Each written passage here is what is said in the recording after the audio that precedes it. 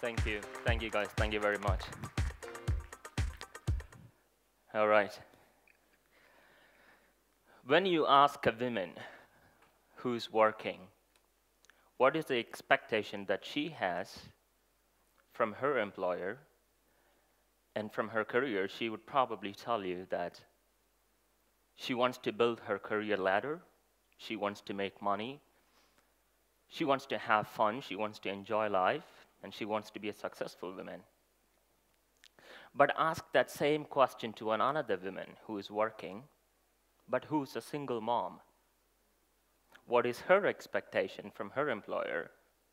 The first thing that she would tell you is security for her job is the foremost important thing, so that she doesn't have to worry about taking care of her children and herself. We are living in an era today where we are constantly creating new technologies, building new companies, inventing new products that is transforming the way that we live. We are living a comfortable life like never before. But let's not forget, these inventions are made by people, people like you, who are either working for some big company or who are working for some small companies. And these are inventions made by people who create their own startup with the hope to build a bigger company in the future and to employ a lot of people in the future as well. The expectation of these people, that is you and I, on how we work today and how we want to work in the future has been changing tremendously and very tremendously. And today I want to give you a preview on what is the expectation and the wishes of these people on how we are going to work in the future. Ladies and gentlemen, my name is Majid Majid Noohokhan, and I am the evangelist at XING, a leading business networking platform in the German-speaking countries. We are more than 600 people. We are headquartered in Hamburg, Germany.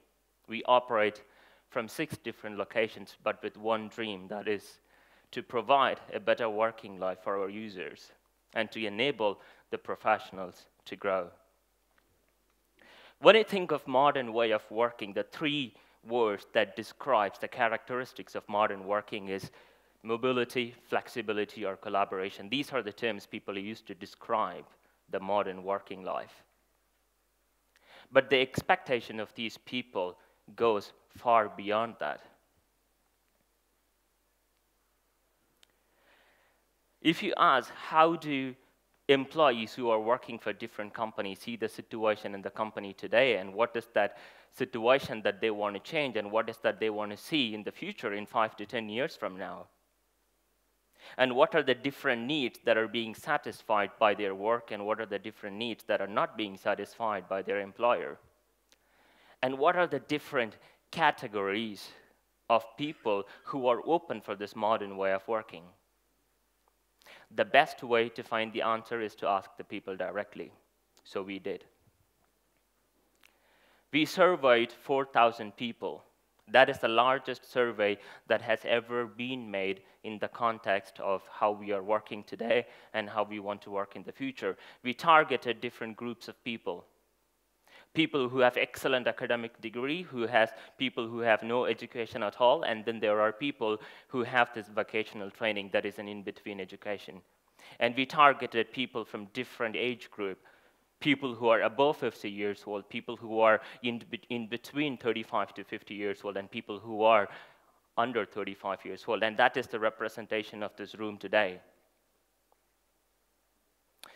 The people who are sitting in this room, most of us are really well educated. We are really technically skilled and we are working for creative industries, but that doesn't represent the majority of the workforce today. This represents the majority of the work today, and this represents majority of the company employees. If you look at the different categories of work, one thing, there are people who prefer to have a part-time employment. The, most of the time, this is women who prefer to work between 30 to 40 hours a week part-time from home because of uh, the children at home. And then there are a group of people like, like you guys who are very well educated, who are very creative, who demand stuff from the employer. And the third one, there are people who are willing to make money. These are most of the time people who are paid on an hourly basis, who works more than 40 hours a week to take care of their family so that they make more money. And then there are people who are doing social work, people like doctors and people who work for NGOs and people who work for companies like who, companies who are transforming the world to make it a better place. And then there comes the industry where people do manual work. People who work so hard to take care of their family. And then there are people who work for factories, people who work for industries, and that is also a representation of the today's workforce.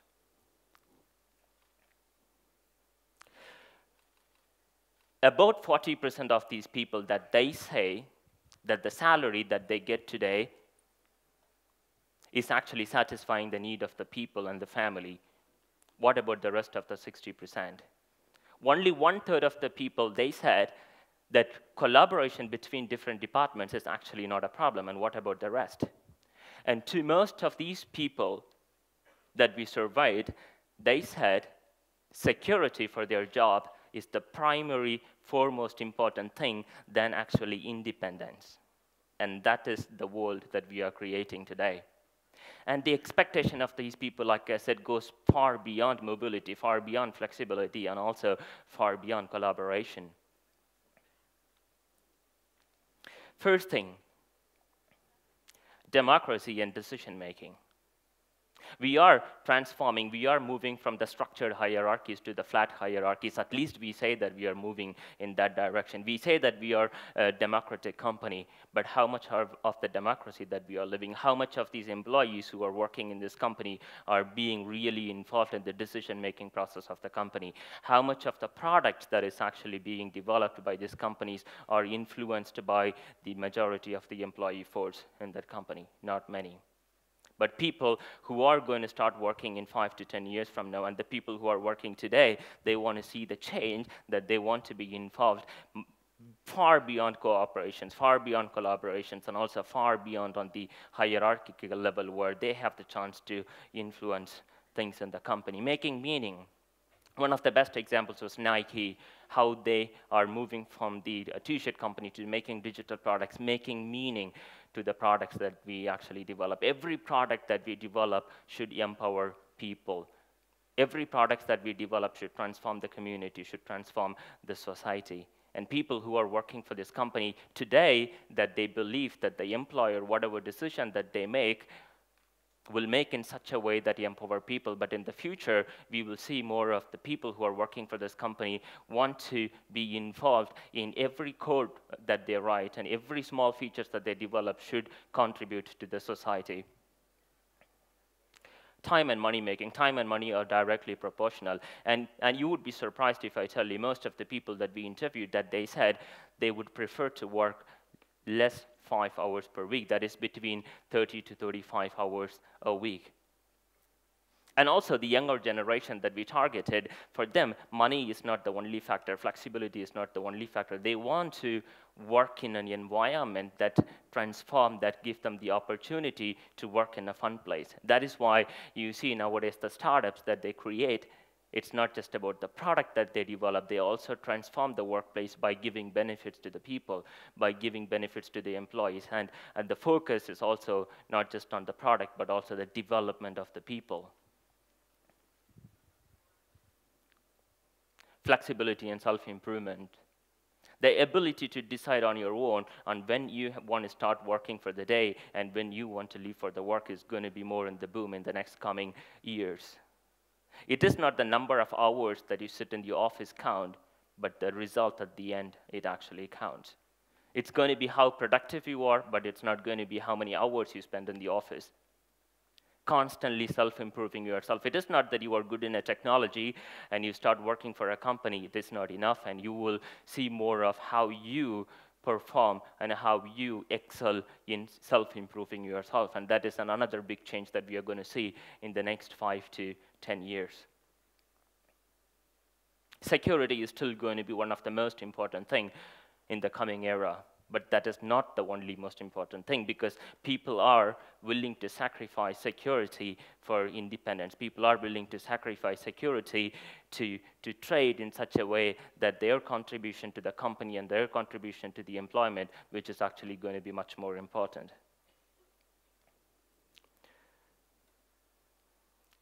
You often hear about work-life balance. And now it's going to be about work-life blend, the blend that you create for your, yourself, the blend that you create and the job that you do which fits your lifestyle, and it is not going to be the other way around. And in the future, it is going to be find the right mixture that works for you and for your family, and also the right mixture that works for the employer and the productivity. That is how you're going to create these two blend, which is going to make you and the company successful. And also, companies are already starting to develop the plan to enable the employees on the, on the side of uh, how they help them to learn throughout their career. It is not just that they start working and then um, forgetting about not learning in the future, and that is going to be another trend. And if you look at the driving force, there are plenty of uh, things that you could actually count on. But I'm going to talk about just four things that is going to uh, be the catalyst for this movement, for the catalyst for this big change that we are expecting to see the companies to follow in the five to uh, 10 years time. First one is digitalization. You would be surprised if I tell you 20% of the companies are already giving out mobile devices for their employees so that they have the access for the information and they have the ability to work from anywhere and everywhere. And that is actually in Germany alone. So imagine a guy who's working for a huge company using desktop computers for the last 25 years, and if you would go and tell him in five years, hey, you are going to use an iPad to work, he would be freaking surprised. And that is what digitalization is about. It is not about the younger generation, not just about the younger generation of the people that we are sitting in this room today. It is going to be even more beyond, than, beyond that. And also, we are going to learn the culture of adaptive working. We are going to work from co-working spaces. We are going to work from home, and we are going to not primarily depend upon the office spaces to work in the future. Different types of work part-time work is going to be in boom, in boom. There are currently 5 million part-time jobs in Germany alone. And that is, the number is still increasing. So you could imagine the trend on how actually it is going to affect the way that we work and also the different types of employment. And then there is this temporary work. There is 2.5 million number of jobs, temporary jobs in Germany now, and that is kind of decreasing. And you would see more of contractors and freelancers that the companies would hire to work instead of hiring full-time employees because, like I said, people will choose the job that fits to their lifestyle and not the other way around.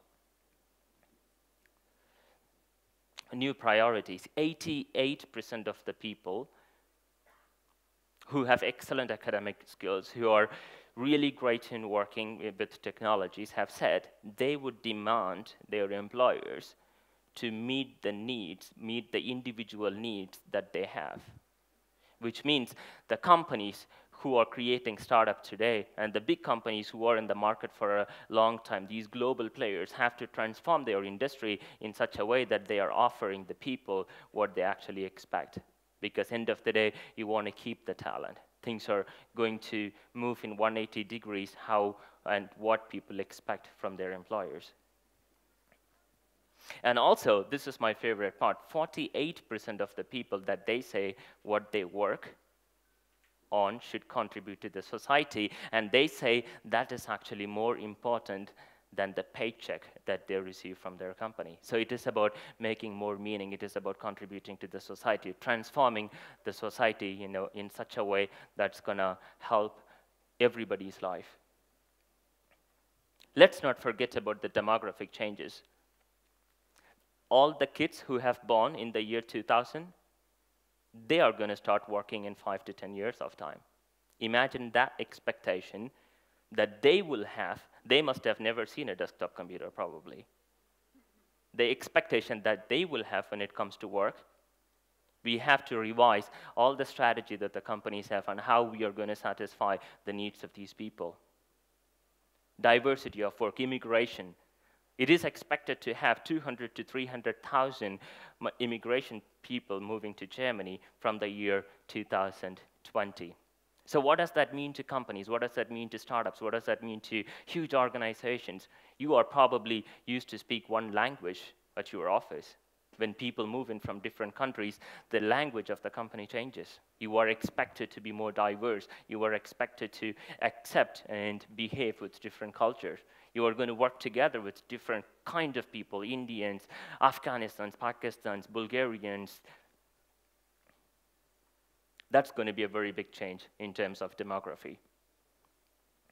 The world of work is going to be different, and sometimes it is going to be even more complicated.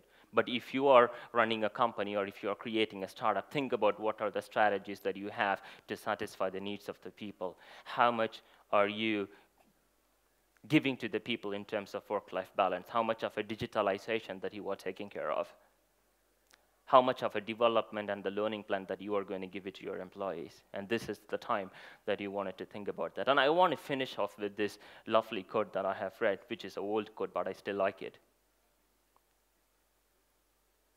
Job is something which is more than just a paycheck. A good job fosters independence and discipline which also contributes to the betterment of the society. A good job is a means for you to provide for the health and the welfare of your family, to have a home, and to save for the retirement. And that is for your better working life. Thank you very much, ladies and gentlemen.